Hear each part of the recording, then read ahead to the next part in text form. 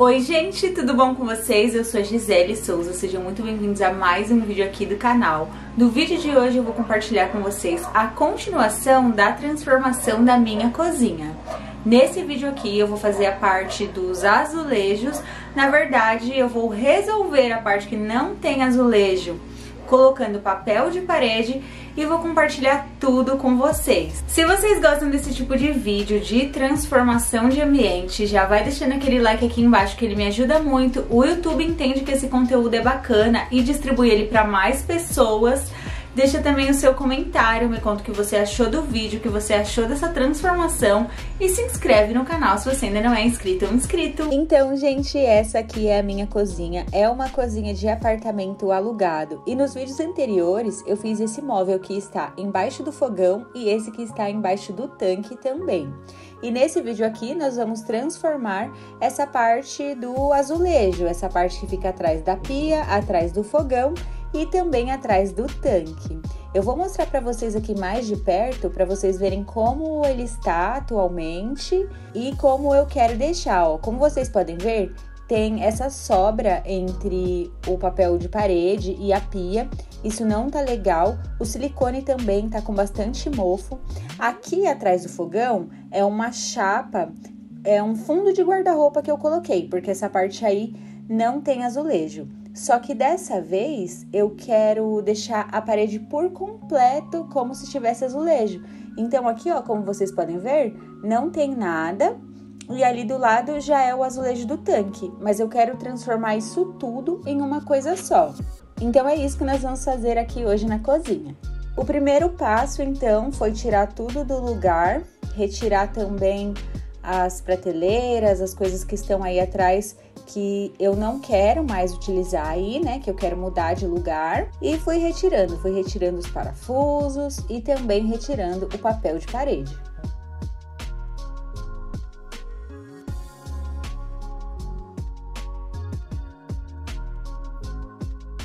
Retirei o LED, mas eu gosto muito, gente, de LED assim embaixo do armário. Então depois nós vamos passar outro LED.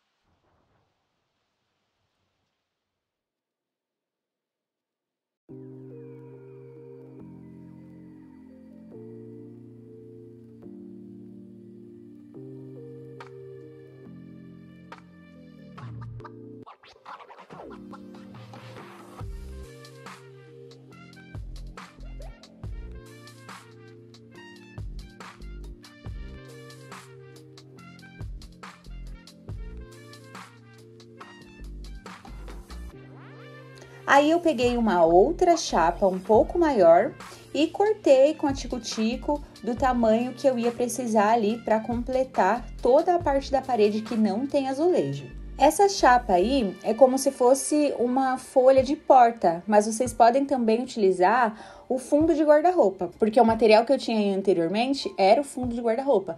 Então eu já sei que funciona muito bem e dessa vez eu vou utilizar essa chapa aqui. Na parede tem as tomadas, gente, então eu já deixei cortado a parte onde eu preciso encaixar as tomadas. E aí eu apliquei também uma fita dupla face bem forte, coloquei bastante fita e posicionei ali entre as partes que tem o azulejo para completar essa parte que não tem azulejo.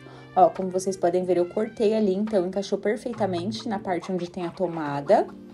E aí eu fui fazendo bem retinho para alinhar essa chapa com o azulejo.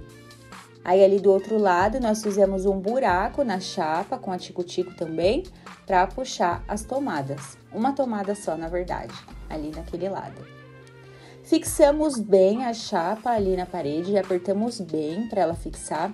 E ali em cima do tanque faltou um pedacinho de chapa, então eu peguei um outro pedacinho e colei ali em cima. E agora vamos começar a decorar essa parede aí, né? Porque não ficou muito bonito essas chapas aí unindo com o azulejo. A gente precisa deixar toda essa parede com um material só. E para isso eu vou utilizar um papel adesivo da PG Adesivos. Uma coisa muito legal, gente, a respeito desse papel de parede que eu quero compartilhar com vocês é que ele é uma parceria que eu fiz com a PG Adesivos lá na rede vizinha, mas eu trouxe essa parceria aqui para o YouTube também para compartilhar com vocês um cupom de desconto.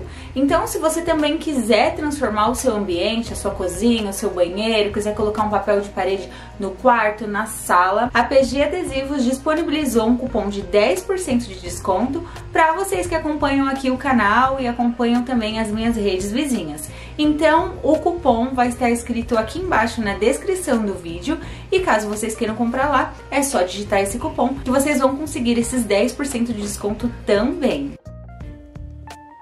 E aí, para aplicar esse papel adesivo, eu segui as instruções do site da PG Adesivos. Lá eles explicam direitinho. Eu fui seguindo ali as dicas, aplicando com água e sabão também. Essa dica ajuda bastante na hora de aplicar e fui colocando ali. Nas partes que tinha tomada, eu fui fazendo furos com estilete que eles também enviam e fui tirando as tomadas para fora e aplicando.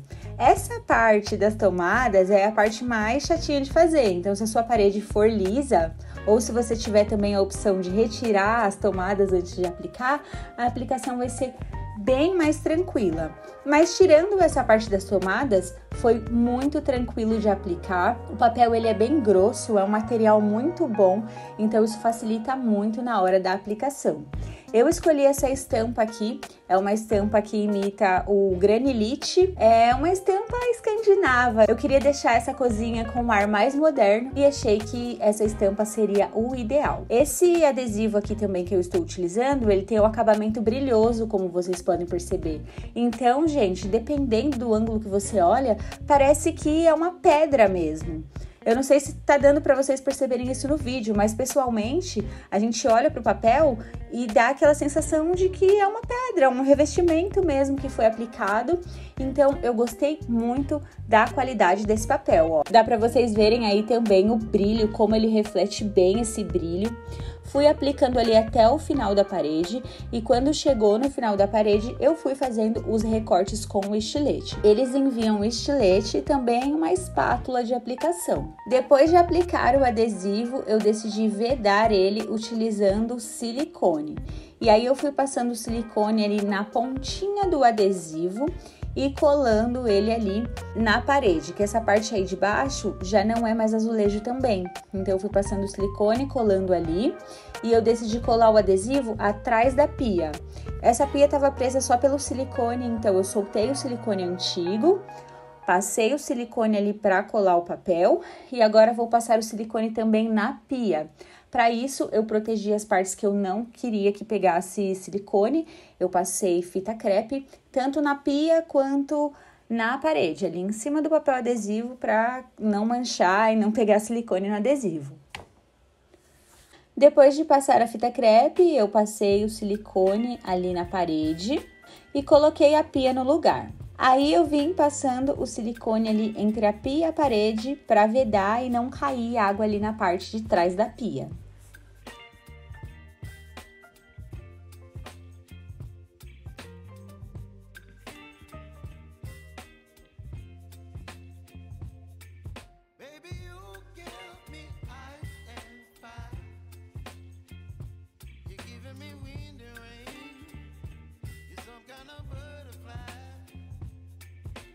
Eu medi o adesivo na distância certinha entre o armário e a pia, mas aí ali na parte do fogão acabou faltando um pedacinho mínimo e eu decidi fazer um acabamento.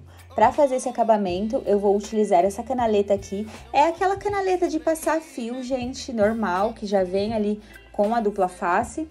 Mas na verdade eu estou reaproveitando essa, então ela já não tinha mais a fita, eu passei uma fita dupla face e colei ela ali. Eu pintei essas canaletas também na cor cinza. Na verdade eu não tinha a tinta na cor cinza, mas eu tinha um primer que era na cor cinza, então eu pintei elas utilizando só o primer, porque eu não queria gastar muito com esse projeto, então fui reaproveitando o que eu tinha coloquei mais uma canaleta ali na parte de cima para fazer o acabamento e aí eu colei a parte de baixo da canaleta e coloquei uns parafusinhos ali. Eu coloquei os parafusinhos na canaleta e na chapa que tem ali atrás. E aí por cima eu vim colocando a capinha da canaleta.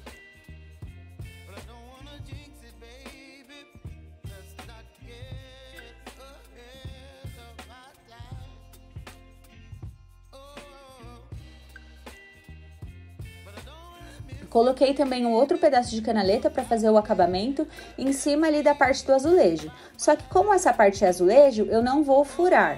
Mas esse pedaço de canaleta que eu utilizei, ele tinha a fita dupla face dele mesmo, então fixou muito bem.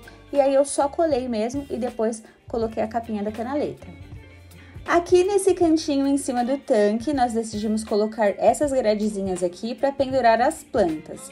Anteriormente, nós tínhamos tentado apoiar essas gradezinhas nesse armário de cima e deixar as plantas penduradas aí, mas não funcionou muito bem. As gradezinhas, elas não são tão resistentes assim, então nós decidimos colocar ela na vertical e colocar as plantinhas ali. E eu gostei bastante, achei que ficou muito bonito essas plantinhas ali nesse cantinho ou em cima do tanque. Eu gosto de deixá-las perto do tanque porque fica mais fácil na hora de aguar. E eu acho que elas ficam bonitas também ali no canto da parede vocês já vão ver como ficou o papel adesivo aplicado, mas como vocês podem ver aí, já dá para perceber um brilho, né? Eu decidi substituir também esses itens aqui da cozinha que eram vermelhos e causavam um ruído visual muito grande. Eu substituí então a lixeira, que era vermelha, por uma lixeira preta e substituí também a tábua de cortar carne, que na verdade não era uma tábua, né? Era essa maçãzinha vermelha, por essa tábua de bambu aqui, que também achei que deixou mais clean o visual e combinou mais com a cozinha. E tá pronto, gente, como vocês podem ver, esse papel adesivo combinou muito com os itens pretos da cozinha, né? E eu amei essa transformação, gostei muito mesmo, de verdade, de coração. Achei que a cozinha tá ficando do jeito que eu quero. Ainda faltam os itens que eu vou trazer para vocês aqui nos próximos vídeos, como esses puxadores que eu vou substituir. Tem mais um móvel que eu quero colocar aí também, mas eu quero saber o que vocês acharam dessa transformação com esse adesivo. Me contem aqui embaixo nos comentários que eu quero muito saber. E esse foi o vídeo de hoje, eu espero muito que vocês tenham gostado. Um beijão e até o próximo vídeo!